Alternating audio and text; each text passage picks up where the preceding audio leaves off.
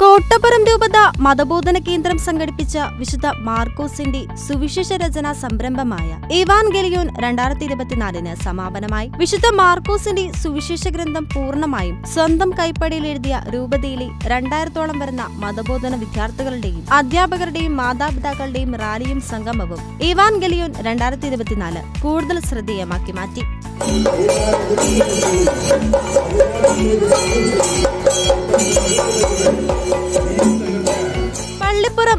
Saint സ്കൂളിൽ ഒത്തുചേർന്ന സുവിശേഷ രചയിതാക്കൾ മതബോധന ഡയറക്ടർ ഫാദർ ജോയി സാമ്പ്രിക്കലിന്റെയും ബസിലിക്ക ഡയറക്ടർ ഫാദർ ബെഞ്ചമിൻ ജൈജുവിന്റെയും നേതൃത്വത്തിൽ വാദ്യമേളങ്ങളുടെയും നിശ്ചല ദൃശ്യങ്ങളുടെയും അകമ്പടിയോടെ അവർ രചിച്ച ബൈബിൾ വഹിച്ചുകൊണ്ട് ബസിലിക്ക ദേവാലയത്തിൽ എത്തിച്ചേരുകയായിരുന്നു. ധാരാളം സന്യസ്തരും ശുശ്രൂഷകളിൽ പങ്കുചേർന്നു. ബസിലിക്ക മതബോധന വിഭാഗവും പി ടി എ സമൂഹവും സെൻട്രോക്കി basilica K C Y M പ്രവർത്തകരും ചേർന്നാണ് പരിപാടികൾക്ക് നേതൃത്വം നൽകിയത്. രൂപത മതബോധന കേന്ദ്രവും ബൈബിൾ അപ്പസ്തലേറ്റും സംയുക്തമായി നടത്തിയ ഈ സംരംഭം ഏറെ സവിശേഷവും ശ്രദ്ധേയവുമായ ഒരു ചരിത്ര മുഹൂർത്തം തന്നെയായിരുന്നു. ഈ സമർപ്പണ യജ്ഞത്തിൽ പങ്കുചേർന്ന ഏവരും വലിയ ആത്മീയ നിറവോടെയും സന്തോഷത്തോടെയുമാണ് തിരുക്കർമ്മങ്ങളിൽ പങ്കുചേർന്ന് മടങ്ങിയത്. ലോകത്തിൽ തന്നെ ഇതാദ്യമായാണ് ഇങ്ങനെ ഒരു സംരംഭം നടത്തപ്പെടുന്നത്. ഇവാൻ ഗലിയോൻ രണ്ടായിരത്തി ഇരുപത്തിനാലിന് ലോകമെമ്പാടു നിന്നും നിറഞ്ഞ കയ്യടികളാണ് ലഭിച്ചുകൊണ്ടിരിക്കുന്നത്.